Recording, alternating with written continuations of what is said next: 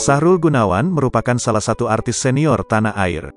Memulai karirnya sebagai seorang model, kemudian dia pun sukses menjadi salah satu pesinetron yang diidolakan kaum hawa. Namun rumahnya tangganya tidak berjalan mulus karena harus bercerai dengan istrinya. Kini pria berusia 44 tahun itu pun menjadi seorang politikus. Ia saat ini menjabat sebagai Wakil Bupati Kabupaten Bandung. Sahrul diketahui kerap membagikan berbagai momen aktivitasnya melalui akun Instagram pribadi.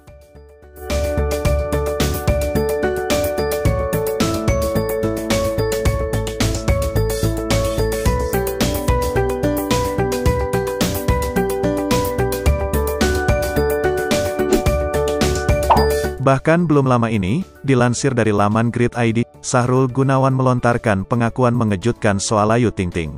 Sahrul Gunawan secara terang-terangan mengaku pernah melakukan pendekatan dengan Ayu Ting Ting, namun hingga kini belum ada kabar terbaru keduanya. Dan kini Sahrul Gunawan mengunggah potret terbarunya bersama sang putri yang telah beranjak remaja yang bernama Raihana Zema Gunawan. Jarang tersorot, potret terbaru putri Sahrul Gunawan ini pun mencuri perhatian publik. Dan berikut ini potret terkini Putri Sahrul Gunawan yang telah dilansir dari berbagai sumber.